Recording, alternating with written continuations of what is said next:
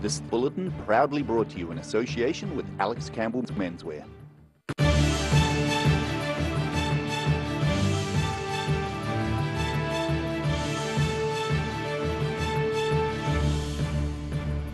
Tonight on the South Today, a Dunedin resident is deeply unhappy with the amount of animal fouling on a prominent city walkway.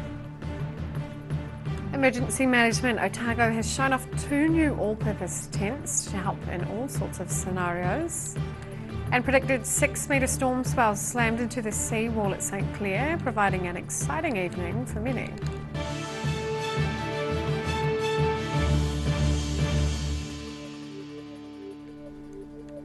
Kia ora, good evening. I'm Sophie Morris.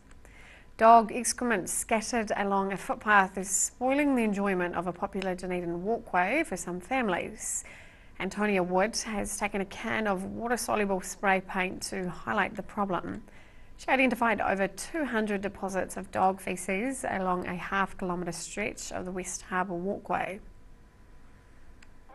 Antonia Wood and her family are regular users of Dunedin's West Harbour walkway, but she's disappointed with the amount of dog excrement along the path, with the risk of getting the unhygienic stuff on her family's shoes. The area is littered with dog poo on the walkway, on the side of the walkway, in the picnic areas on the side of the walkway, and it's become a non-family friendly area which is a pity because this is supposed to be a family friendly walkway. Wood and her family decided to make other users of the walkway aware of the issue by using water soluble spray paint to highlight every pile of faeces along a short section of the path. In 500 metres, we counted 217 dog poos or piles of dog poo. She says she'd like to see dog walkers be more responsible, especially as a rubbish bin is provided for the public. And there's a wheelie bin at the start of the walkway where they can put their dog's poo um, after their walk. Or if they're going the other direction, just take the bag home with them. I'd like them to watch their dogs while they walk them um, because sometimes if the dog's behind, they're not going to see the dog doing a poo yeah, we'd just love to use the walkway without worrying about stepping in their dog's poo and the poo getting everywhere on our buggies, bikes, shoes, cars, home carpet. The Dunedin City Council says it hasn't received any specific complaints about dog faeces along the pathway. In Dunedin, the South today.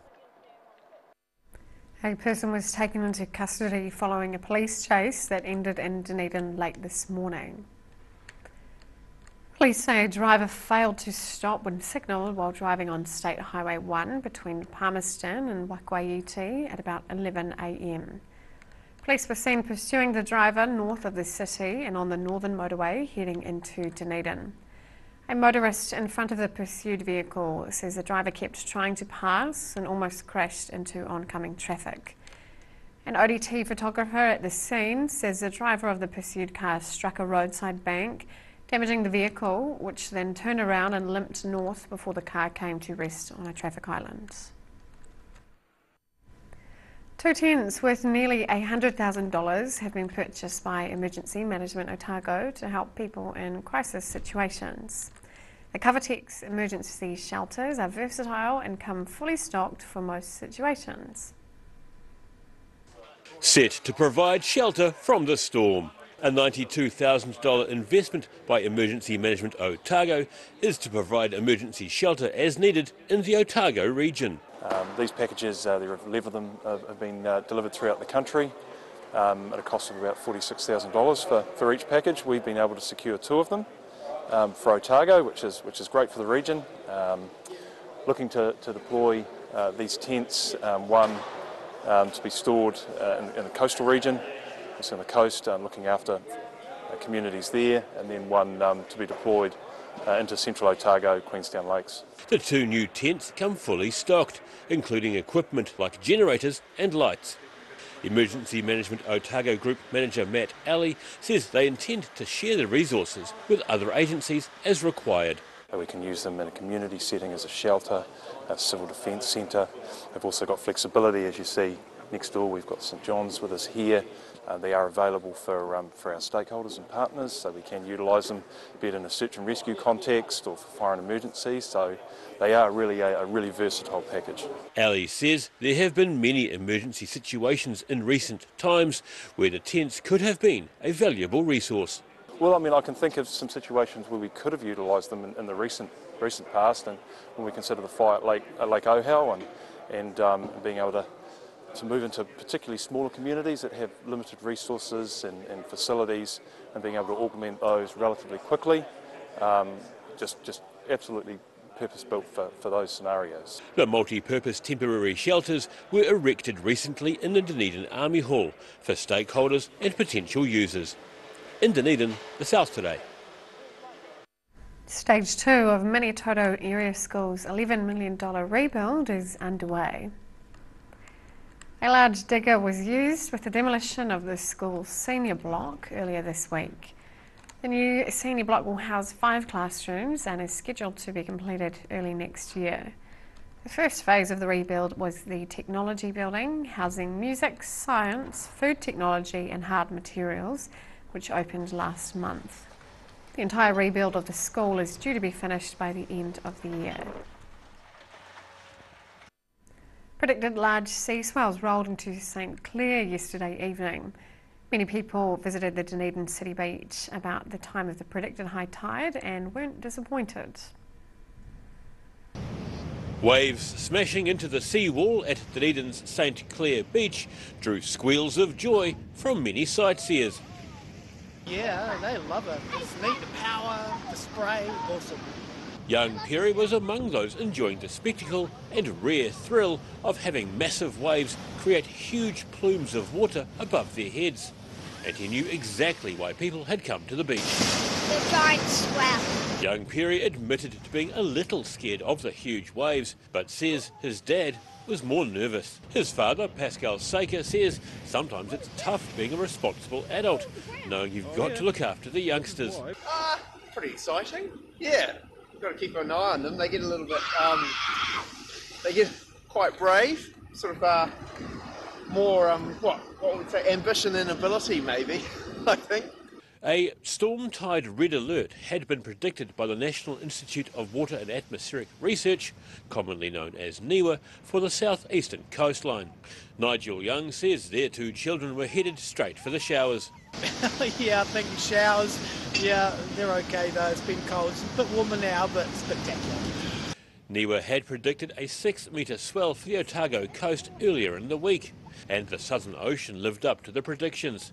While some braved the elements and got soaked, others filmed from the relative safety of their cars. In Dunedin, the South Today. Still to come on the South Today. A laser system is to be set up to detect the height of vehicles for an Oamaru overbridge. And we meet the international umpire doing it for the love of sport in Gore.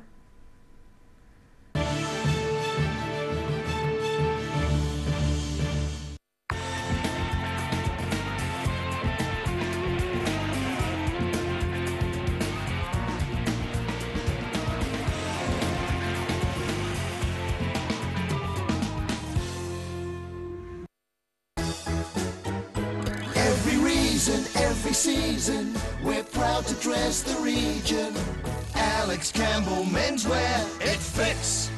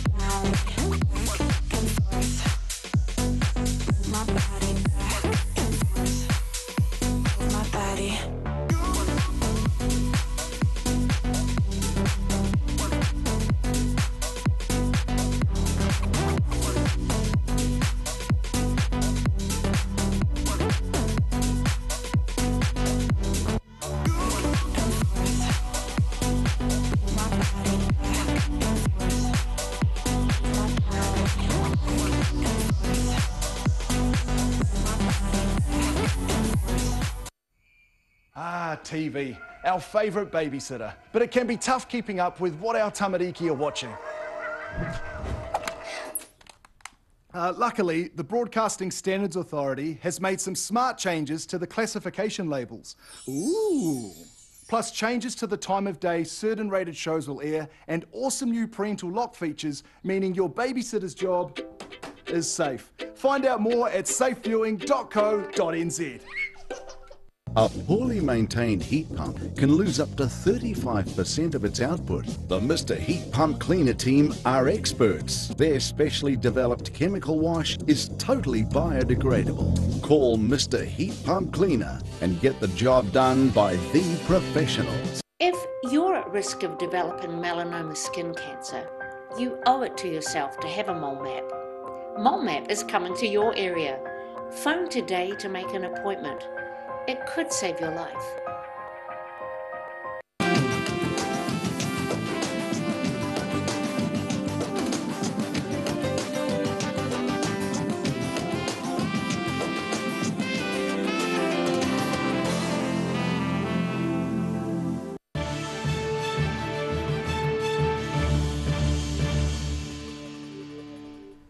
Welcome back. A netball game in Gore was recently whistled by international netball umpire Christy Simpson. She's also been an umpire at a New Zealand versus Australia test match and recently received her third ILT Southland Sport Official of the Year award. It's fantastic to see Christy Simpson here today. She's umpiring on her weekend off from ANZ and fantastic that she was awarded the Administrator of the Year at the Southland Sports Awards last night. Um, everybody in East and Southland appreciates Christy coming back um, to umpire in the Premier Games today. Great to see her here. I do it because I love netball and it's a challenge and it's great to be involved in a game that I enjoy. I've been doing the ANZ competition, this is my 12th season. Sorry, and I've been officially since way before that, since I was about 10 or 11, so a few years. Following a number of trucks crashing into an overbridge on Oamaru's Humber Street, a laser system is to be set up to detect the height of vehicles. Last November, a car was crushed by a large truck that struck the overbridge and rolled onto its side. The incident was the third time a truck had crashed into the overbridge in 18 months. $70,000 is to be spent on a system that will trigger a warning message clearly visible to drivers of oversized vehicles.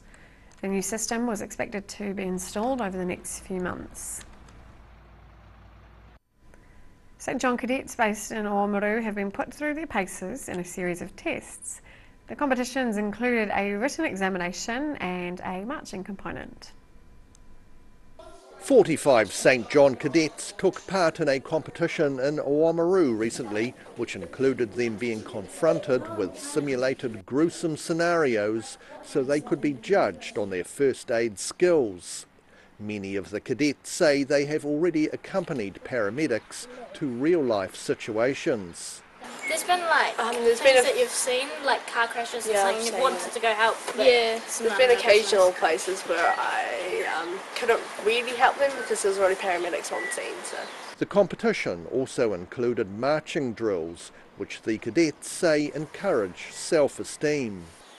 That's not great drills to show pride in our uniform mainly and to show pride in ourselves. But yes, it's pretty good. The competition also included a written exam. In Oamaru, the South today. After the break in the south today, ski fields open in the south and we check out the weather.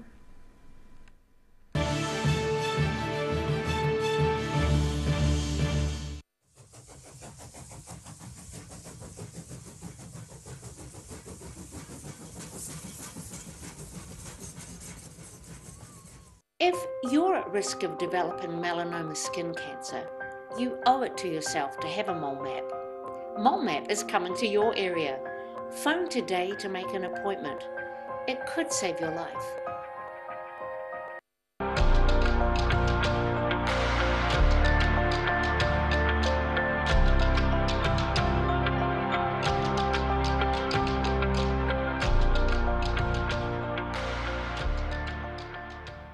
A poorly maintained heat pump can lose up to 35% of its output. The Mr. Heat Pump Cleaner team are experts. Their specially developed chemical wash is totally biodegradable. Call Mr. Heat Pump Cleaner and get the job done by the professionals. MTF Finance can help you turn the key on your next vehicle with a loan made just for you. TCs and lending criteria apply.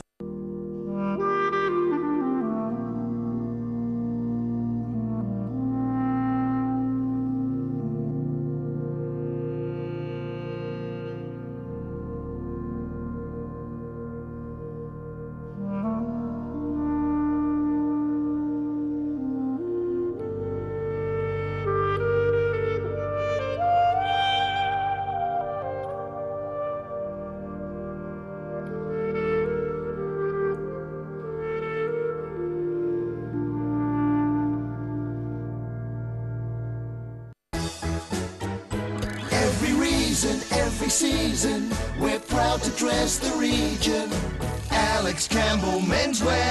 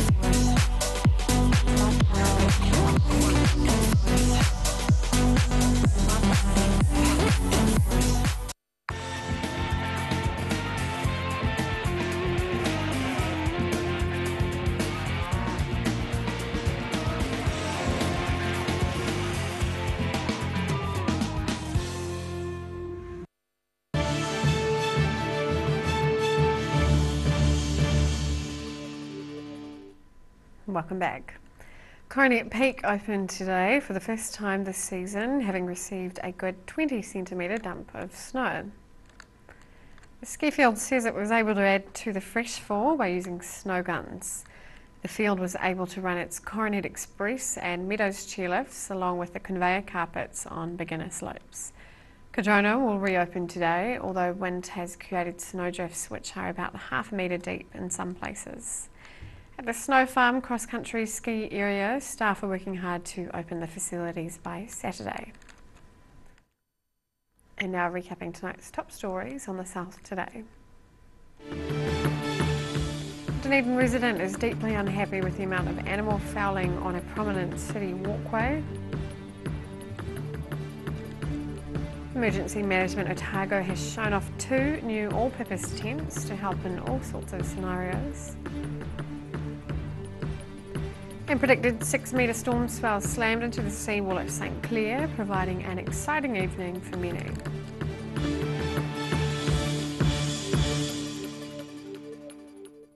And now for a look at what's happening in tomorrow's ODT. Welcome, Craig. Good evening. Good evening. Now, if you're a ratepayer, you're going to love tomorrow's paper because Oh, there's plenty of council stories in it. Um, the government today unveiled its plans for uh, future water services for New Zealand. It's, it's calling it Three Waters Reform. Um, it's pretty heavy going, but pretty significant for ratepayers, um, particularly in Dunedin, where we've had lots of problems, I guess, with our water, particularly Waikouaiti Way. Um, so they're planning to establish four entities that are going to run uh, all the water services for the country. That's uh, drinking water, uh, wastewater, and stormwater, and uh, one entity for the South Island. Um, so that, that's a big change, taking really the responsibility away from the councils and putting it in the hands of these entities. Um, we've spoken to basically all of the councils from Timaru South, and pretty mixed response. They're still wading through pages and pages of documents, as you can imagine at the moment, and yeah, a bit, bit cynical about what it might mean for them as well. Uh, not necessarily wanting to lose the responsibility. Some areas have just upgraded their water system as well, and, and can't see the benefit of spending even more money on it. So, yeah, a lot of water to go under the bridge, I guess you could say at this stage. But um, yeah, it's certainly a big discussion topic out there. Uh, the DCC's also finally approved its 10-year plan today. Uh, Mayor Hawkins, uh, Aaron Hawkins, very excited about that, saying it's going to build a resilient city and encourage people to come here. I'm not sure whether we want too many more, but um, so they've also approved, approved a rates increase of 9.8%. So that won't uh, please some people, but lots happening in the next 10 years. Some of the main things are going to, of course, be the, the changes to rubbish and recycling, which they've uh, signalled, and also a, a, transport package around the Dunedin Hospital. So lots of changes there over coming years. So. Um, they need to front foot that and make sure they get things in place before that happens. So uh, worth full details about that tomorrow. Correct. Heading to the south, uh, Tim, Shelp, uh, Tim Shadbolt, the Invercargill Mayor, caused a bit of a stir in a council meeting where he um, he asked councillors what would happen if he resigned. It sort of came out of the blue, really. Um, he's been under pressure, as you well know, of late. Um, people saying that perhaps he's not up to it anymore. His performance has been held into question, and his health, of course, isn't as great as it as it should be either. So um, yeah, he caught everyone off guard by that, but didn't elaborate any further to suggest he was going to resign. Just wanted to know what would happen. They, they, they told him that it would be a by-election of some sort or another. But um, we've tried to talk to, to, Sir Tim to see whether he would expand on that, but he's unavailable at the moment. So uh, yeah, I guess we just watch the space because um, yeah, I think something's going to give down there shortly. So we'll see what happens. Right. And just finally on the sporting front, we've got North Otago heading up to Napier tonight to try and bring the Ranfurly Shield back to Oamaru. Hayden Meikle's very excited about it, being a, an Oamaru man himself. Don't like the chances, but you never know. Uh, amateurs against semi-professionals, so it's, it's always a tough ask. But they're you know tough little side, and we wish them all the best. We'll have updates on our website tonight and uh, full wrap in tomorrow's paper. All right, very good. Thank you. Thank you, Craig. And now for a look at the weather. Tonight's weather proudly brought to you by Mole Map.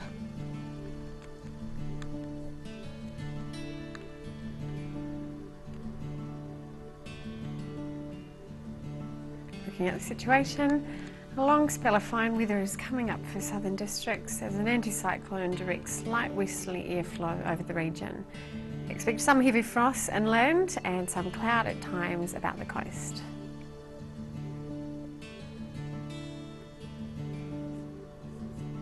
Starting at the northwest of the South Island, mostly sunny here with 13 degrees in Greymouth and Westport.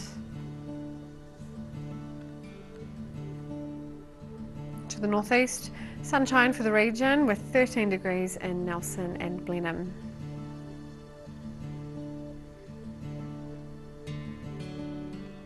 Mostly sunny in Canterbury as well with 11 degrees in Kaikoura, Christchurch and Ashburton.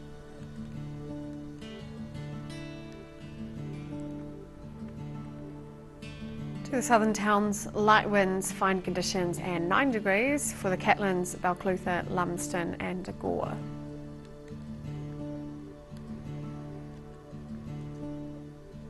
To the Central Lakes area, light winds and fine conditions here as well with 7 degrees in Queenstown, 8 degrees in Wanaka, 10 degrees in Alexandra and 9 degrees in Te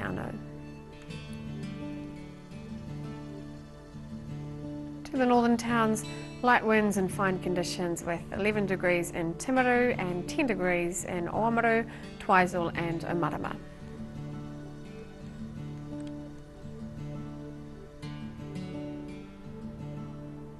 And Dunedin cloudy tonight with southwesterlies dying out and a low of 3 degrees.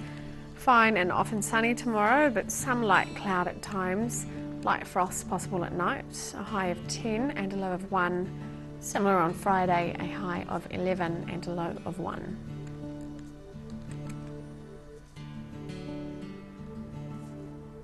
And in Invercargill, some cloud tonight with a low of 1. Mostly fine tomorrow with a mix of sunny periods, some cloud and moderate westerly winds, high of 10 and a low of 3.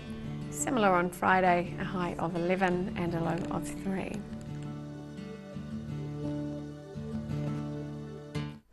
That's all for our news this Wednesday. For the latest news from the southern region, head online to odt.co.nz or follow Channel 39 on Facebook and YouTube. Thanks for joining us. Ka kite anō.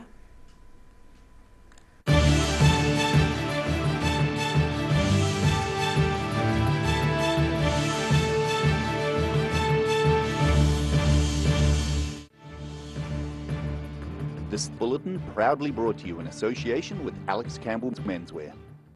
Supporting local content so you can see more of New Zealand on air.